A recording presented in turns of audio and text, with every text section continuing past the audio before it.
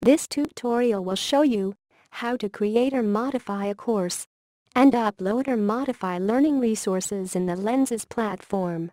First you click on the section Courses and then click on the tab Create Modify a Course. Now you must log in. And if the user have the rights, the system will let you upload or modify a course.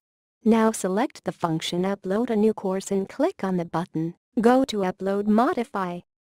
At this point you need to fill in the displayed fields.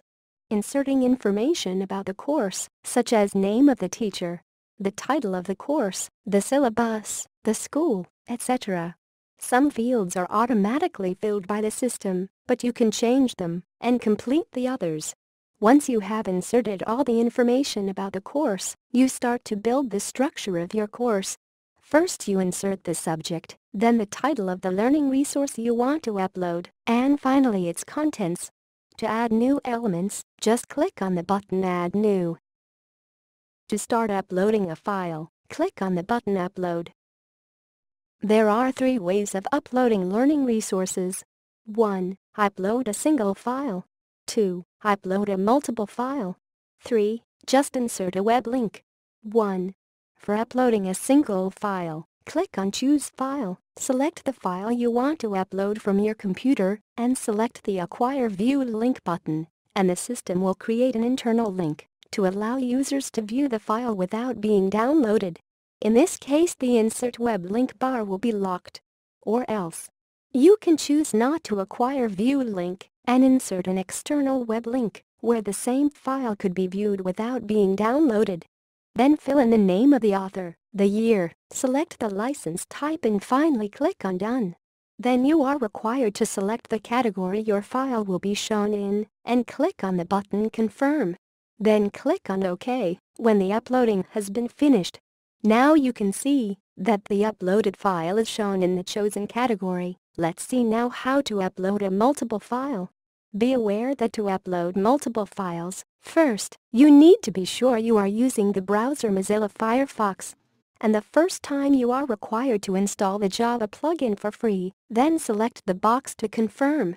Once the Java plugin is installed, you can start uploading multiple files. Click on Add to select the files you want to upload. And finally click on Upload. Then select the Acquire Link button, and the system will create an internal link to allow users to view the file without being downloaded. In this case the Insert Web Link bar will be locked. Or else, you can choose not to acquire View Link and insert an external web link where the same file could be viewed without being downloaded.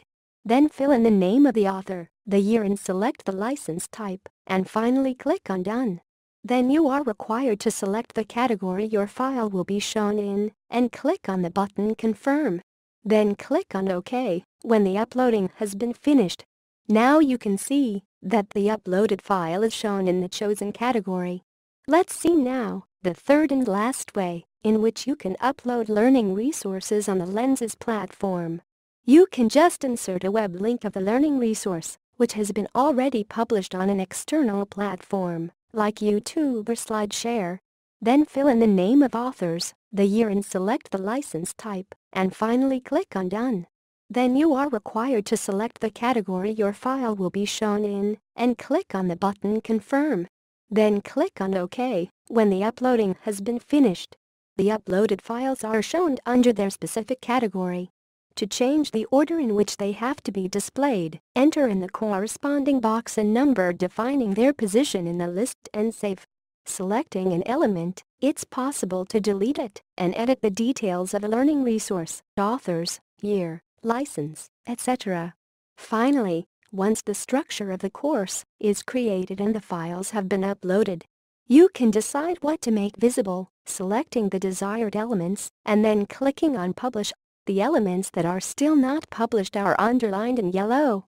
Instead if you have previously created a course, and you want to modify some parts, after having logged in, click on Courses, and then on the tab Create Modify a Course.